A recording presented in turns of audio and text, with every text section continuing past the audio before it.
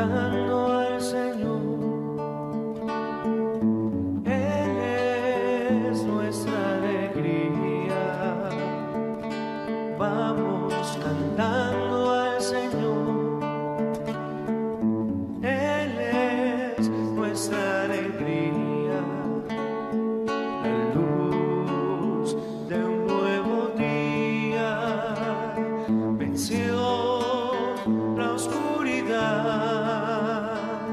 que brilla en nuestras almas la luz de la verdad.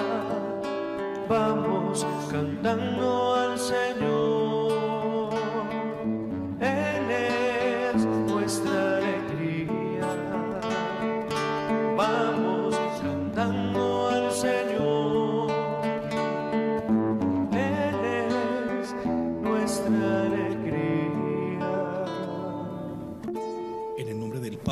y del Hijo y del Espíritu Santo. Amén El Dios de la esperanza que por la acción del Espíritu Santo nos colma con su alegría y con su paz, esté con todos ustedes. con tu espíritu Bienvenidos hermanos a la celebración de la Eucaristía. Disponemos nuestros corazones al comenzar esta nueva semana y celebrar el amor de Dios manifestado en Cristo Jesús. Ponemos en este altar nuestras intenciones, todas las personas que se unen en este momento para dar gracias por el don de la vida, para pedir en medio de sus necesidades, dificultades y problemas, para hacer la memoria de las personas que han fallecido, para presentarle al Señor todo lo que tenemos en lo más íntimo de nuestro corazón. Los invito entonces para que participemos con fe, iniciando esta Eucaristía, pidiéndole a Dios que nos dé el perdón de nuestros pecados. Señor, ten misericordia de nosotros. porque hemos pecado contra ti Muéstranos, Señor, tu misericordia. y danos tu salvación Dios Todopoderoso, tenga misericordia de nosotros, perdone nuestros pecados y nos lleve a la vida eterna. Amén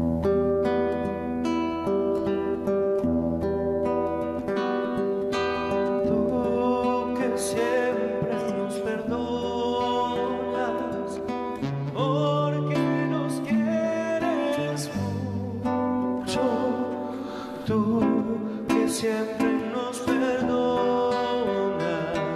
Señor,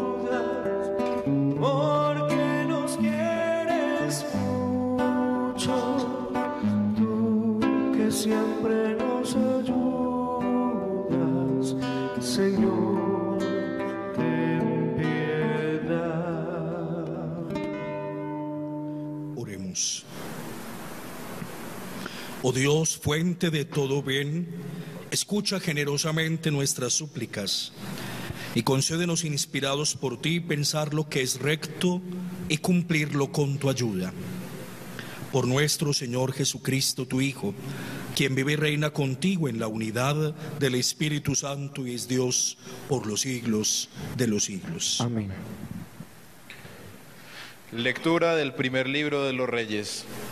En aquellos días, Elías, el tesbita de Tisbé de Galaad, dijo a Abad, Ahab, vive el Señor Dios de Israel, ante quien sirvo, que no habrá en estos años rocío ni lluvia, si no es por la palabra de mi boca.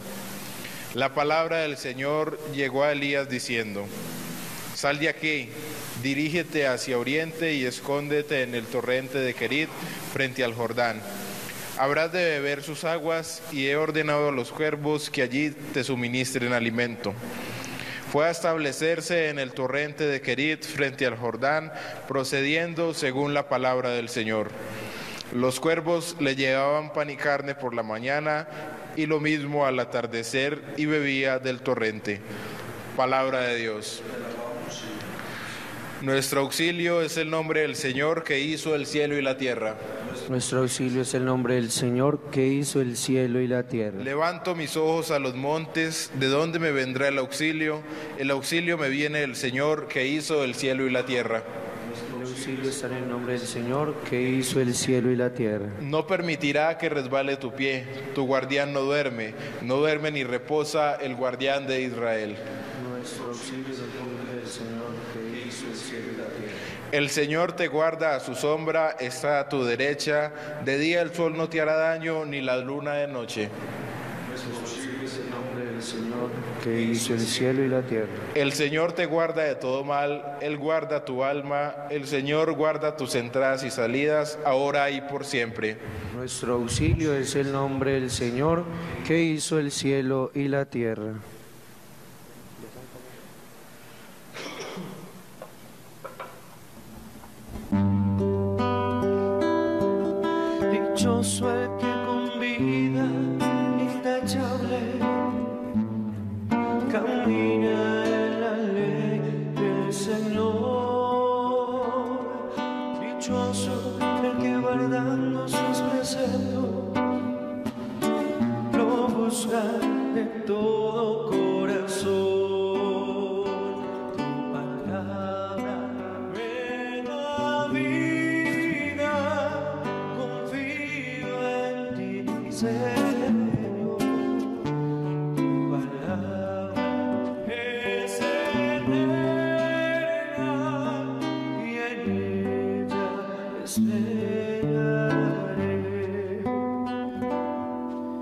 Hermanos y hermanas, el Señor esté con ustedes. Con tu espíritu. Les proclamo el Evangelio de Jesucristo según San Mateo.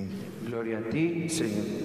En aquel tiempo, al ver Jesús el gentío, subió a la montaña, se sentó y se acercaron sus discípulos y abriendo su boca les enseñaba diciendo, Bienaventurados los pobres en el espíritu, porque de ellos es el reino de los cielos. Bienaventurados los mansos, porque ellos heredarán la tierra. Bienaventurados los que lloran, porque ellos serán consolados. Bienaventurados los que tienen hambre y sed de justicia, porque ellos quedarán saciados. Bienaventurados los misericordiosos, porque ellos alcanzarán misericordia. Bienaventurados los limpios de corazón, porque ellos verán a Dios. Bienaventurados los que trabajan por la paz, porque ellos serán llamados hijos de Dios. Bienaventurados los perseguidos por causa de la justicia, porque de ellos es el reino de los cielos. Bienaventurados ustedes cuando los insulten y los persigan y los calumnien de cualquier modo por mi causa. Alégrense y regocíjense, porque su recompensa será grande en el cielo, que de la misma manera persiguieron a los profetas anteriores a ustedes. Palabra del Señor. Gloria a ti, Señor Jesús. Tendremos la oportunidad durante estos días de meditar el primer libro de los reyes. Casi siempre en nuestras reflexiones nos acercamos en la meditación a los textos evangélicos, pero pienso que también vale la pena que podamos escudriñar un poco los textos del primer testamento, que también son revelación para nosotros, y poder hacer una lectura espiritual que nos permita dejar en el corazón una palabra de salvación de Dios para nuestras vidas. Nos acercamos a la figura maravillosa de Elías el profeta, el hombre de Dios. Y hoy aparecen unos detalles preciosos que quiero compartirles para que podamos volver a ellos con el corazón. Elías es suscitado por el Señor en un momento muy difícil de la historia de Israel. Ha llegado al trono un rey llamado Ahab, que se ha casado con una princesa extranjera, fenicia, llamada Jezabel. Este rey pusilánime, mediocre, se ha dejado dañar el corazón por la idolatría de su esposa Y no solamente él ha adorado a otros dioses, sino que todo el pueblo ha terminado adorando a los dioses fenicios, a los llamados Baales. Israel estaba convencido que la lluvia y la fecundidad de la tierra no la daba Yahvé, sino que la daban estos dioses. Por eso le rendían culto a través de unos fenómenos extraños que se daban en sus templos, ritos de fecundidad. Porque para ellos la tierra se empapaba de lluvia cuando invocaban a Baal. Algo reprochable, porque ciertamente el único Dios de Israel es Yahvé. El único Dios de cielo y tierra es Yahvé. El único que manda la lluvia a la tierra es el Señor Dios Yahvé, único en el cielo y en la tierra. Y precisamente para defender los derechos de Dios se suscita al profeta Elías. Por eso es tan interesante porque la primera palabra de Elías es esta. Vive el Señor Dios de Israel a quien sirvo, que no habrá ni lluvia ni rocío mientras mi palabra no lo diga. Miren, esto que les digo es para caer en la cuenta de cómo también nuestros corazones se distraen fácilmente de cómo nosotros vamos cayendo en idolatrías, y no hablo de imágenes religiosas, hablo de personas, de cosas a quienes volvemos nuestros dioses, en quienes ponemos nuestra confianza, y el único que salva es el Señor. Por eso deberíamos preguntarnos desde el fondo del corazón a quién adoramos, a quién seguimos, a quién servimos. Y si no es el Dios del amor infinito, terminaremos esclavizados. Porque el único que nos da la felicidad es el Señor. Todo lo demás termina subyugándonos y sometiéndonos. Y nuestra vocación más profunda es la libertad. Adoremos al único Dios. Él es la fuente de la vida. Amén. Señor, no soy nada, porque me has llamado, has pasado por mi puerta y bien sabes que soy pobre soy débil, porque te has fijado en mí, me has seducido, Señor, con tu mirada, me has hablado al corazón y me has querido. Es imposible conocerte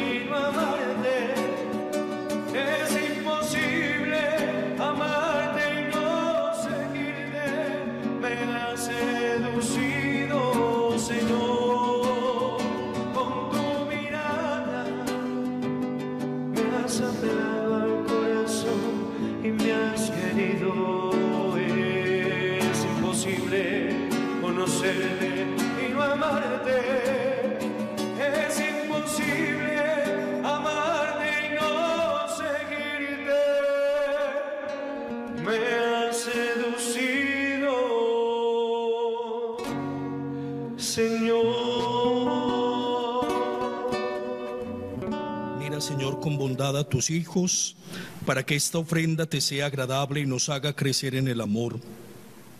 Por Jesucristo nuestro Señor. Amén. El Señor está con ustedes. Con tu espíritu. Levantemos el corazón. Lo tenemos levantado hacia el Señor. Demos gracias al Señor nuestro Es Dios. justo y necesario. Te damos gracias, oh Dios, porque tú nos creaste para que vivamos para ti y para que nos amemos los unos a los otros. Tú nos das la gracia de mirarnos y de dialogar como hermanos, de modo que podamos compartir las cosas buenas y también las difíciles. Por eso, Padre, estamos contentos, te damos gracias y unidos a todos los que creen en ti, cantamos el himno de tu gloria.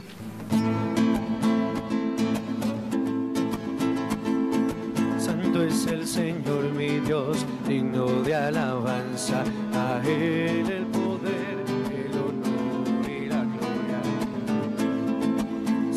es el Señor mi Dios, digno de alabanza.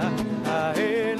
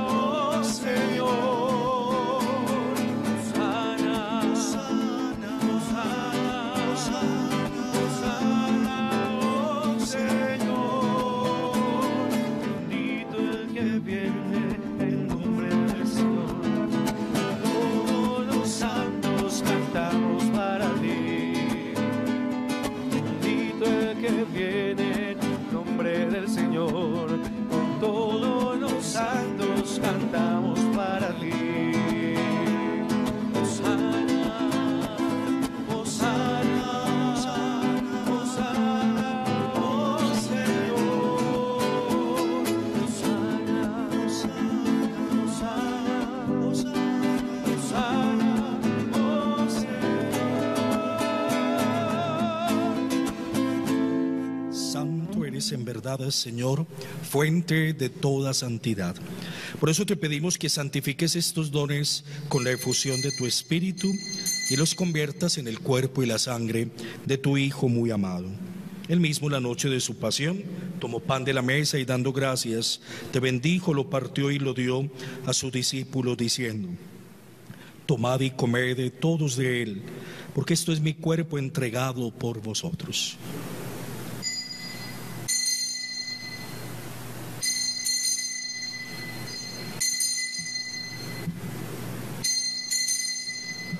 Del mismo modo, terminada la cena, tomó este cáliz y dándote gracias de nuevo lo pasó a sus discípulos diciendo, tomad y bebed todos de él, porque este es el cáliz de mi sangre, sangre de la alianza nueva y eterna, que será derramada por vosotros y por muchos para el perdón de los pecados. Haced esto en conmemoración mía.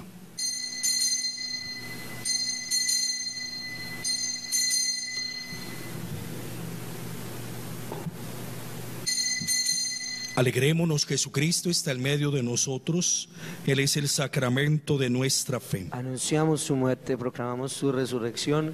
Ven, Señor Jesús. Padre, al celebrar el memorial de la muerte y resurrección de tu Hijo, te ofrecemos el pan de la vida y el cáliz de salvación y te damos gracias porque nos reúnes en tu presencia. Dirige tu mirada sobre esta ofrenda y haz que quienes compartimos este pan y este cáliz seamos una sola familia en el amor. Acuérdate, Padre de la Iglesia, del Papa Francisco, de nuestro Obispo Ricardo y de todos los pastores que cuidamos a tu pueblo. Recuerda a tus hijos que han muerto, admítelos a contemplar la luz de tu rostro. Y un día con la Virgen María, Madre de Dios, San José y todos los santos, permítenos en tu reino cantar eternamente tus alabanzas. Por Cristo, con Él y en Él a ti Dios Padre misericordioso, en la unidad del Espíritu Santo, todo honor y toda gloria por los siglos de los siglos. Amén. El amor de Dios se ha derramado en nosotros, por eso llenos de fe decimos, Padre nuestro, que estás en el cielo, santificado sea tu nombre, venga a nosotros tu reino, hágase tu voluntad en la tierra como en el cielo. Danos hoy nuestro pan de cada día, perdona nuestras ofensas, como también nosotros perdonamos a los que nos ofenden. No nos dejes caer en la tentación Y líbranos del mal. y concédenos la paz para que, ayudados por tu amor, vivamos libres de pecado y protegidos de toda perturbación, mientras esperamos la gloriosa venida de nuestro Salvador Jesucristo. Porque tuyo es el reino, tuyo es el poder y la gloria por siempre, Señor. Señor Jesucristo, que dijiste a tus apóstoles, la paz les dejo, mi paz les doy, no tengas en cuenta nuestro pecado, sino la fe de tu iglesia.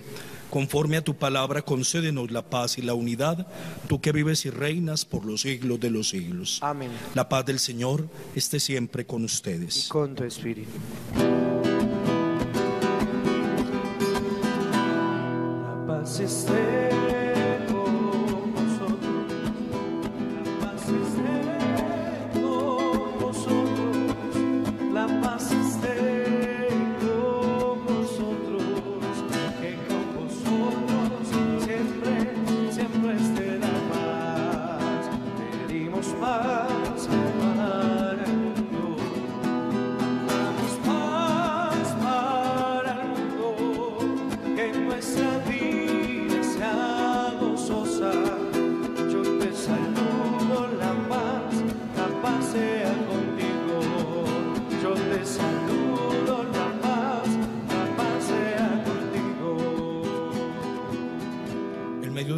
nosotros está Jesucristo, es el Cordero que quita el pecado del mundo. Dichosos los invitados a la cena del Señor. Señor, yo no soy digno de que tú entres en mi casa, pero una palabra tuya bastará para sanar.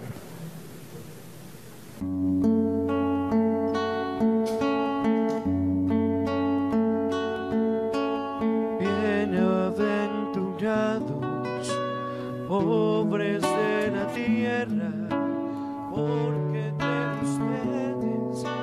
el reino de Dios. Bienaventurados los que pasan hambre, los que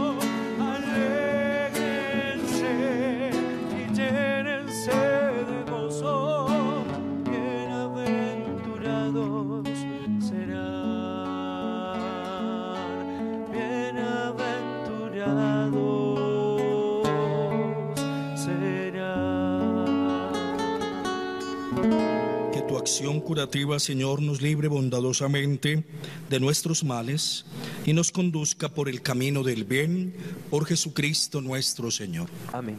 El Señor esté con ustedes. Y la bendición de Dios misericordioso, Padre, Hijo y Espíritu Santo, descienda sobre ustedes y los acompañe siempre. Amén. Permanezcan en la paz del Señor.